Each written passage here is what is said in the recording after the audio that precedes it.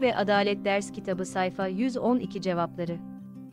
Milli Eğitim Bakanlığı yayınlarına ulaşabilmek ve dersinizi kolayca yapabilmek için aşağıdaki yayınımızı mutlaka inceleyiniz. Hukuk ve Adalet Milli Eğitim Bakanlığı yayınları ders kitabı cevapları. Sayfa 112 aşağıdaki benzetme etkinliğini yapalım. Boşluklara uygun olacağını düşündüğümüz kelimeleri yazalım. Cevap: Hakaret insana atılan bir taşa benzer, çünkü ikisi de insanın canını acıtır. Cinsiyet eşitsizliği terazinin kefesinden birinin diğerine hile sonucu ağır basmasına benzer, çünkü ikisinde de haksızlık söz konusudur.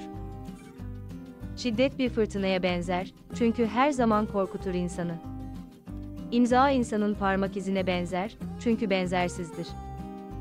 Zorbalık küçük bir kuşu esir etmeye benzer, çünkü ikisinde de özgürlüğümüz elimizden alınır. Ceza bir çocuğun yanlış davranışından ona kızmamıza benzer, çünkü ikisinde de yanlış davranışı önleme vardır. Kişisel verilerimiz gözümüzdeki retinaya benzer, çünkü ikisi de bize özeldir. Sorumluluk insanın taşıdığı küfeye benzer, çünkü taşıdığın yükü gitmesi gereken yere veya tamamlamayla aynıdır. Hukuki yaptırım evin içinde top oynayıp vazo kırdıktan sonra annemizin bize kızmasına benzer, çünkü ikisinde de ceza alma vardır. İcra İslam'ın şartlarına benzer, çünkü ikisinde de eğer borcunuzu ödemezseniz sizlere cezai yaptırma tabi tutulursunuz.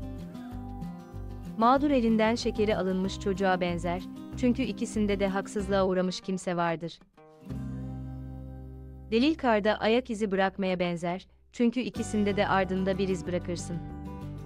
İstismar ağaç veren meyvenin tüm dallarını koparmaya benzer, çünkü ikisinde de iyi niyeti kötüye kullanma vardır. Tazminat sokakta top oynarken komşunun camını kırdıktan sonra onun bedelini ödemeye benzer. Çünkü ikisinde de bir bedel ödeme söz konusudur. Milli Eğitim Bakanlığı Yayınları Hukuk ve Adalet Ders Kitabı sayfa 112 cevabı. İle ilgili aşağıda bulunan emojileri kullanarak duygularınızı belirtebilir, aynı zamanda sosyal medyada paylaşarak bizlere katkıda bulunabilirsiniz.